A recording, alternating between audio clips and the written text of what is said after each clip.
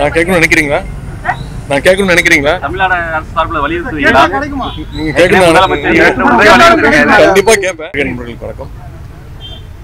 என்று இந்த மிக்ஜாம் புயலால் பாதிக்கப்பட்ட இந்த வடசென்னை நாடாளுமன்ற தொகுதிக்குட்பட்ட ஆறு சட்டமன்ற தொகுதிகளுக்கும் நம்முடைய வடசென்னை நாடாளுமன்ற உறுப்பினர் சகோதரர் திரு கலாநிதி வீராசாமி அவர்கள் ஏற்பாட்டில் ஒரு முப்பதாயிரம் குடும்பங்களுக்கு தேவையான நிவாரணப் பொருட்கள் அரிசி பருப்பு மளிகை சாமான்கள் போர்வை பெட்ஷீட் அப்படி முப்பதாயிரம் குடும்பங்களுக்கு தேவையான அந்த பொருட்களை இன்று ஏற்பாடு செய்து அந்தந்த பகுதி செயலாளர்கள் ஒப்படைச்சிருக்கிறோம் அவங்க வந்து இன்றையும் நாளையும் அதை வந்து பொதுமக்கள்கிட்ட கொண்டு போய் சேர்ப்பாங்க.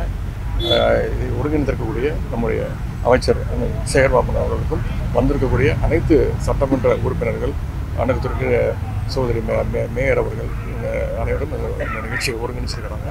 ஏன்னா இந்த நேரத்தில் நம்முடைய நாடாளுமன்ற உறுப்பினர் கலாநிதி வீராசாமி அவர்களுக்கும் அமைச்சர்கள் அவர்களுக்கும் சட்டமன்ற உறுப்பினர்களுக்கும் மக்கள் பிரதிநிதிகளுக்கும் பகுதி செயலாளர்களுக்கும் என்னுடைய நன்றியை நான் நாளைக்கு பிரைம் மினிஸ்டர் பார்க்க போறீங்க? என்ன மாதிரியான திட்டங்கள் கேலோ இந்தியா வந்து தமிழ்நாட்டுக்கு போகும்போது அவங்க கொடுத்துருக்குறாங்க அந்த வாய்ப்பு.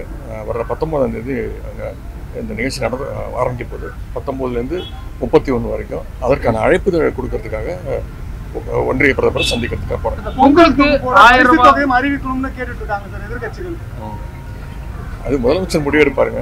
வாய்ப்புகள் இருக்கா? வாய்ப்புகள் இருக்கா? முதலமைச்சர் தான் முடிவெடுப்பாரு. மத்திய அரசு- நான் கேட்கணும்னு நினைக்கிறீங்களா? நான் கேட்கணும்னு நினைக்கிறீங்களா? தமிழ்நாடு அரசு சார்பில் வலியுறுத்துவீங்களா நீங்க கேட்கணும். கண்டிப்பா கேட்பேன். ஆனா நான் போறது மெயின் வந்து இந்த கேலோ இந்தியாக்காக அந்த அழைப்புதல் கொடுக்கறதுக்கு. கண்டிப்பா அதையும் நான் வலியுறுத்தி கேட்பேன். அழைப்புதல் கொடுக்க போறேன். அது கலந்துக்கிறதும் கலந்துக்காதது அவருடைய விருப்பம்.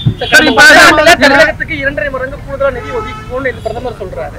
நம்ம நிதி சரியா ஒதுக்குறது இல்லைன்னு பண்ணிட்டு ஒரு நிதியமைச்சர் கரெக்டாக அதான் தெளிவாக பதிலாம் சொல்லியாச்சு. இது வந்து ஒரு விதண்டாவாதம் பண்ண விரும்பலை.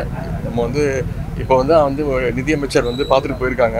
அவங்களும் விரைவில் நிதி ஒதுக்குவாங்க நம்புகிறோம் இளைஞர் அணி மாநாடு எப்போ சார் இப்ப? அது தலைவர் அறிவிப்பாங்க ஒரு ரெண்டு நாளில் பொதுச் செயலாளர் வந்து தலைவரோட முடிவு பண்ணி ஒரு டூ த்ரீ டேஸ் அறிவிச்சிருவாங்க. கைமா ஜனவரி எண்டுக்குள்ளே நடக்கும்.